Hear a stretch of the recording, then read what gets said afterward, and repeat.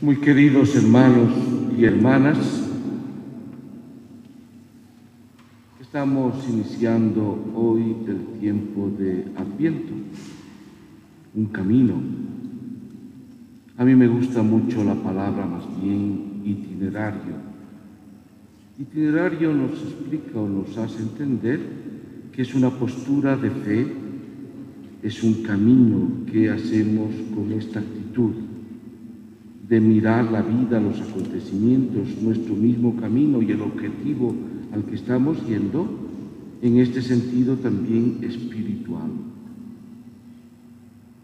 ¿Cuál es? Eh, Adviento es un tiempo justamente de esta actitud que nos invita a empezar este camino, continuarlo, dar paso tras paso, para luego llegar justamente a la preparación de la Navidad. El tiempo de Navidad sabemos que se prolonga hasta el 6 de enero, donde celebramos la Epifanía del Señor.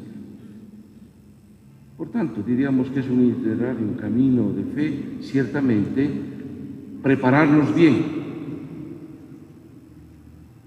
para que el nacimiento del Señor sea aquello que hoy está anunciando la palabra, sea una salvación para nosotros. Este Dios que se manifiesta, Epifanía, significa manifestación. Este Dios que se revela, que se nos muestra, es un Dios que viene a salvarnos, viene en ayuda nuestra.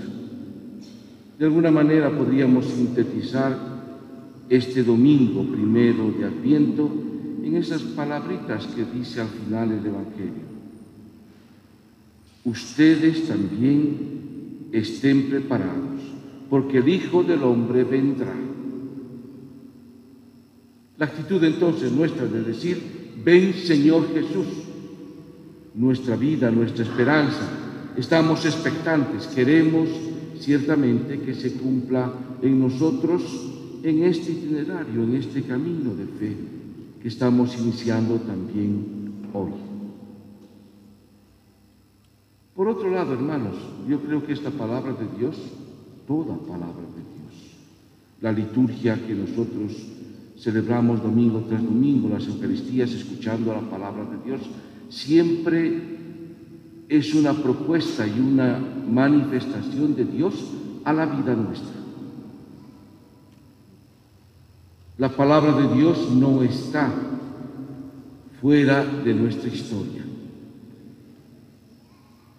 Dios mismo construye la historia de los hombres y nos acompaña. El Señor camina con nosotros.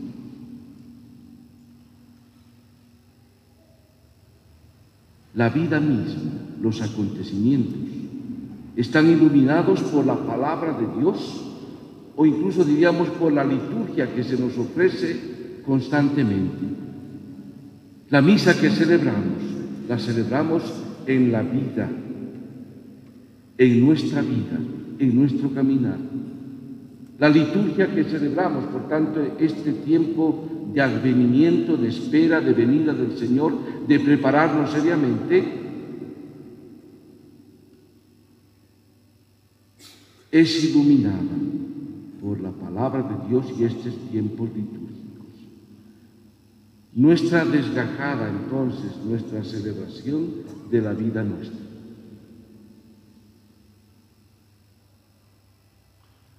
Hemos vivido una profunda crisis.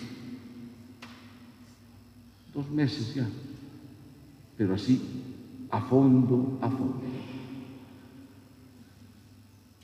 Una situación muy difícil, donde el mal casi que ha cobrado, por decir así, situaciones trágicas, donde la presencia del mal o el alejamiento de Dios o las posturas radicales o el haberse creído que las mentiras son verdad, nos han puesto un profundo, profundo sentimiento, no solo de psicosis, porque yo no sé si a ustedes les ha pasado, hasta hemos perdido el tiempo y el espacio. No sabíamos dónde estamos. Nos han metido un montón de miedos. Han aflorado, han aflorado un montón de situaciones de de verdad nuestros propios sentimientos. En situaciones así de profundas crisis, hasta se sabe realmente las intenciones de los corazones de cada persona, de esta sociedad. Frente a esta profunda crisis, como iglesia, la palabra de Dios aquí en Cochabamba nos proponía claramente una primera actitud. Hay que escuchar primero a Dios que a los hombres. Hay que escuchar la palabra de Dios. ¿Qué es lo que nos dice el Señor nuestro Dios? ¿Qué nos dice su palabra? Por tanto, ciertamente que nos ponemos en una actitud orante, pero oración sobre todo y ante todo es escuchar. Y en primer lugar, ¿a quién vamos a escuchar? ¿A las voces que traen división? ¿A las voces que nos dicen mentiras? Porque se han dicho demasiadas mentiras. Yo apuntaba, por ejemplo, el hecho de que nos hacen creer como si hubieran dos tipos de bolivianos. Y esa es una gran mentira, porque somos hijos e hijas de un único Padre. ¿A quién vamos a escuchar? Primero a Dios a través de su palabra. Segundo, segunda actitud. Queremos ser un pueblo orante. Y se acuerdan esta pequeña y sencilla oración que la hemos hecho hasta como cadena. hemos propuesto a orar personal, familiar, comunitariamente y como sociedad, aquí en Cochabamba. Señor Jesucristo, que dijiste a tus apóstoles, la paz les dejo, mi paz les doy. Por tanto, ¿a quién pedimos nosotros que se nos conceda la paz? ¿Quién es capaz de darnos una paz? Nuestra personal, comunitaria, familiarmente. Le clamamos a nuestro Dios, danos la paz. No mires nuestra debilidad, no mires la fragilidad de tu iglesia. Concédele la paz y la unidad. Estas han sido actitudes que nos han ido acompañando en momentos de situaciones trágicas que nos ha también tocado vivir a todos aquí en Cochabamba.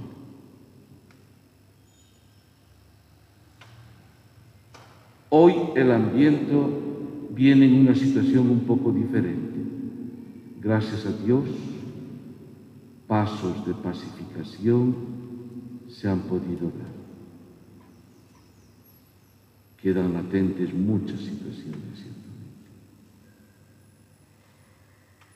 Sin embargo, hoy, nuestro camino de Adviento es un camino de preparación hacia la Navidad, pero es un camino también de itinerario de fe que nosotros aquí en Cochabamba, en nuestra arquidiócesis, a través de esta liturgia y de la iglesia, tenemos que ir atentos también en algo fundamental. Sí, domingo a domingo daremos un paso.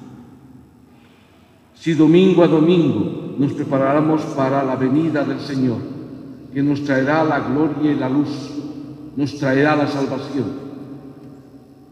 que nuestro adviento también sea entonces un camino de preparación al interno de nuestras comunidades porque somos una gran familia, que no estamos queriendo reconocernos por varios aspectos. Nuestro primer paso entonces de itinerario, que sea esta actitud siempre de oración. Una oración que sigue pidiendo la paz, pero una oración vigilante una oración que está despierta y atenta a lo que le dice su Dios, a lo que le propone su Dios. Y al proponer Dios, por ejemplo, el amor que hemos sentido tan grandemente, nos, no solo nos pide el responder también a este amor de nosotros, sino extender este amor entre nosotros. Si es un Dios que nos ha pedido y nos ha dicho, ¿quién es el dueño de la vida? Soy yo, dice Dios. A nadie le está permitido tomar la vida de un hermano. Si la vida es un don, es un regalo de Dios, ni siquiera por nuestros méritos, ni siquiera porque nosotros la hemos querido, es un regalo de Dios esta vida debe ser cuidada, respetada, que nuestra oración sea vigilante, atenta, que nuestra oración sea dialogante. Sabemos que muchísimas cosas, hermanos, podemos arreglarles en el diálogo, en el tuyo de hecho, la oración también es eso, ¿no? Tenemos tantísimos ejemplos que cuando nos ponemos orantes al Señor, podemos pedirle, pero escucharle, dialogar. ¿Recuerdan ese pasaje hermoso de Moisés, cuando Moisés dialoga con Dios, intercediendo por su pueblo? Que nuestra oración sea insistente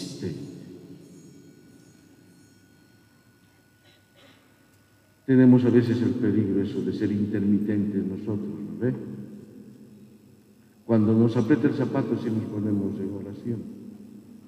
En este camino, en este camino de adviento que nuestra oración sea insistente, que incida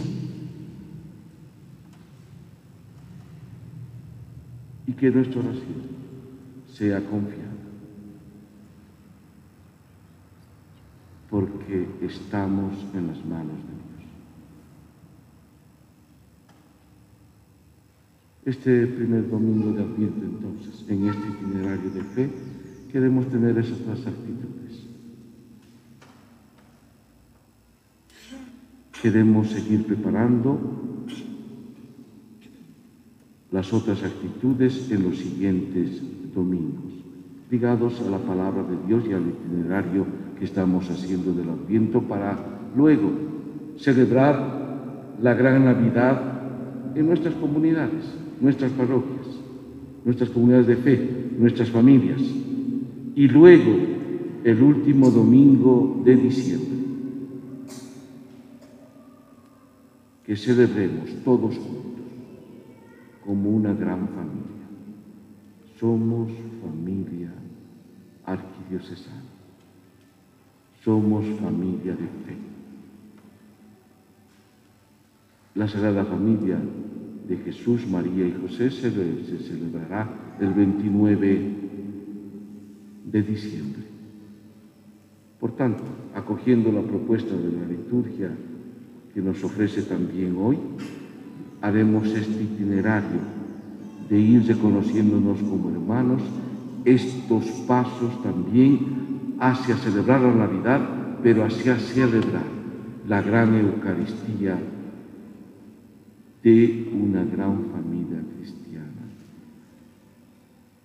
que celebra a su Dios, la salvación que nos trae y la vida que nos da.